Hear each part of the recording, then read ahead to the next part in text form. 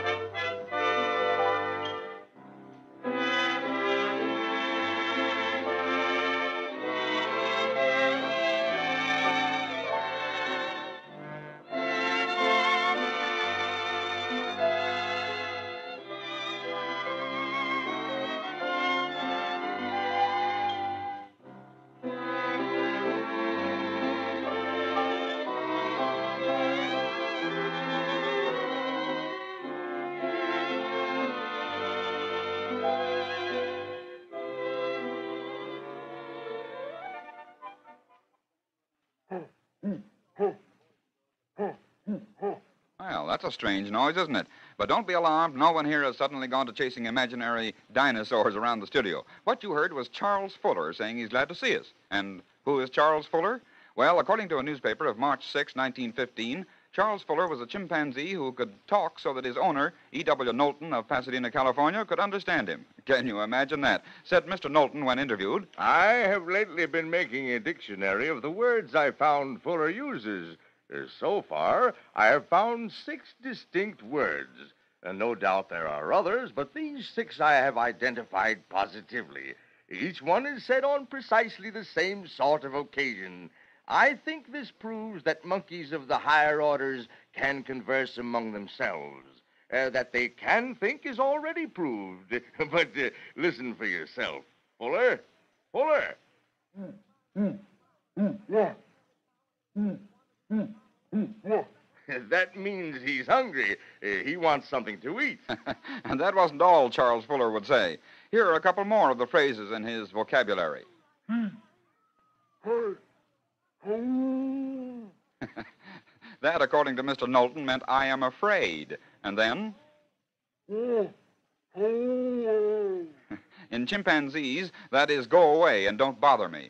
We have Mr. Knowlton's word that Charles Fuller could sew, untie knots, and untwist a swing when the rope got tangled up. But other chimps had done that before. What made Charles Fuller unique was the fact that his vocabulary could be understood by his owner. Can you imagine that? Well, now comes the time for our fairy tale class.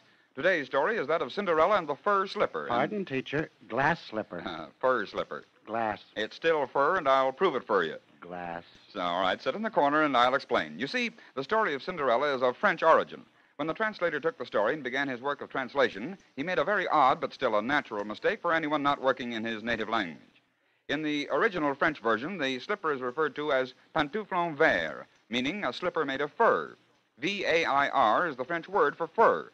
The translator was more familiar with the actual sound of the word vert than he was with its meaning.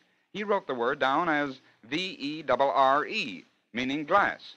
So we today, because of a translator's odd mistake, know the pretty little fairy tale as Cinderella and the Glass Slipper instead of Cinderella and the Fur Slipper. Can you imagine that? Well, there are countless stories about the evil that follows famous jewels, about the bad luck they bring to each uh, successive owner. The Hope Diamond, for instance, has a history crowded with deaths of tragic episodes in the lives of its owners. Along that line, I dug up a story that has all the character of melodramatic fiction, with the added punch of being true. From a newspaper dated July 8, 1929, comes an item saying that the curse of the cross has been set at rest. The cross is really the Mount of the Holy Cross that nestles in the heart of the Rocky Mountains of Colorado. And the curse? Well, listen to this. In 1873, members of the Hayden Geological Survey Party were exploring in that particular region of the Rockies. As they went on, they became more and more awed by the grim grandeur of the scene before them. And then, suddenly, Wait! Wait down there! what's the matter? Look! What? Look at that.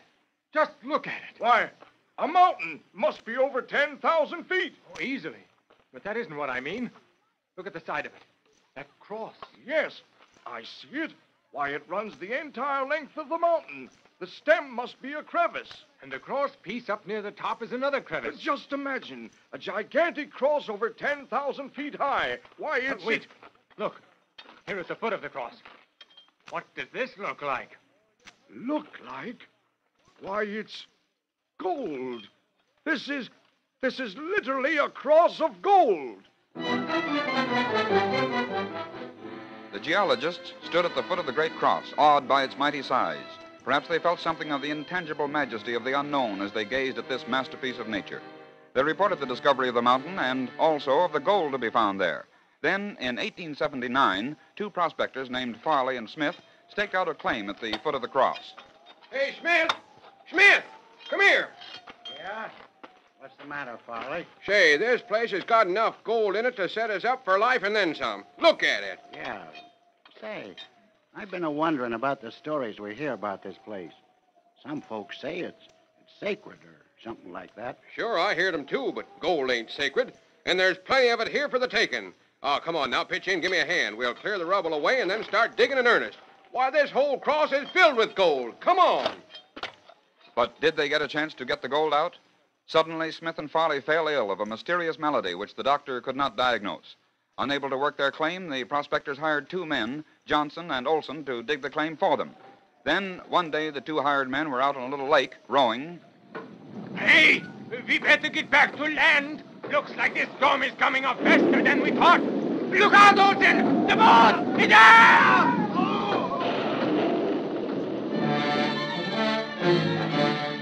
Both men were drowned in the sudden squall that overturned their tiny boat. Farley and Smith went back to working their claim, back to the business of taking the precious ore from the cross of gold on the mountainside. Then, one day, while they were at their cabin, How much we get out today, Farley? I. Hey, what are you watching out the window? I don't know. Thought I saw something moving in the brush over there. I... Smith! Indians! Oh! Molly! Molly!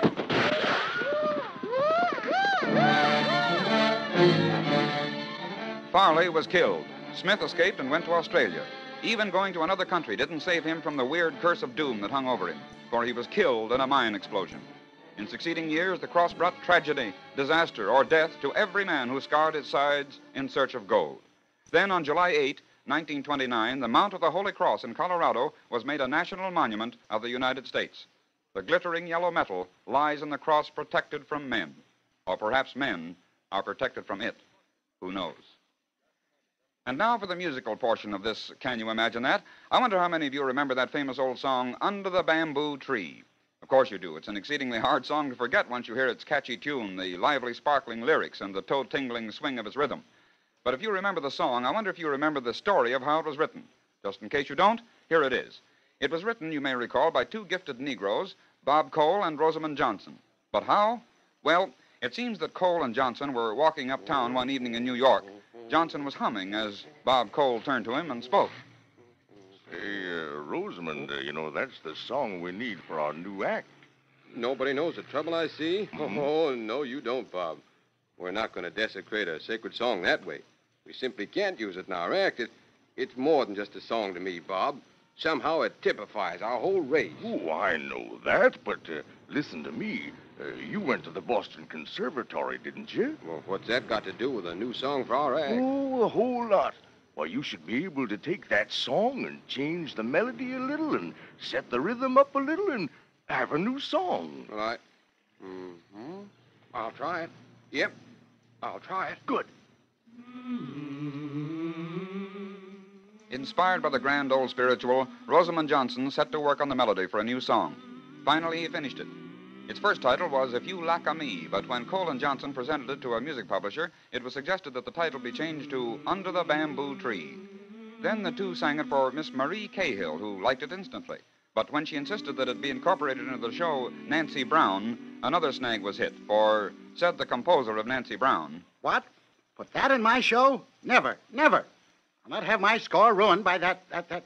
Well, I refuse to call it a song. But the lively Miss Cahill, who knew a hit when she heard it, calmly put her dainty foot down and said the song went in or she went out. the song went in. And so out of the past, out of a race in whom music and love of it is born, came Under the Bamboo Tree.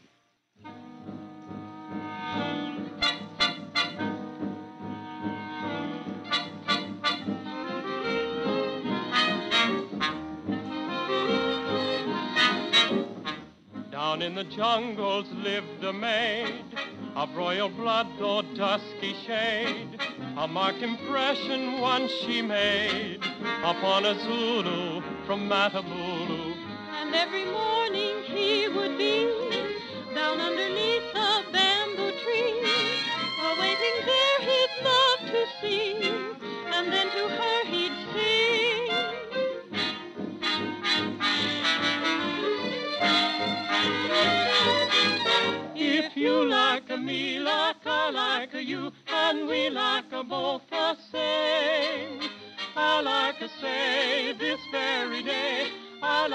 change your name. Cause I love you and love you too, and if you love me, one live as two, two live as one, under the bamboo tree.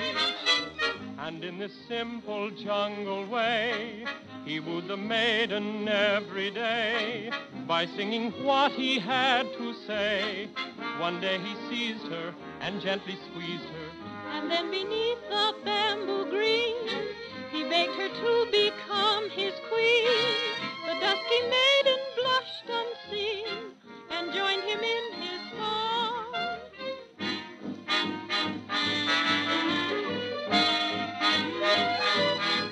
If you like a me, like I like a you, and we like a both the same.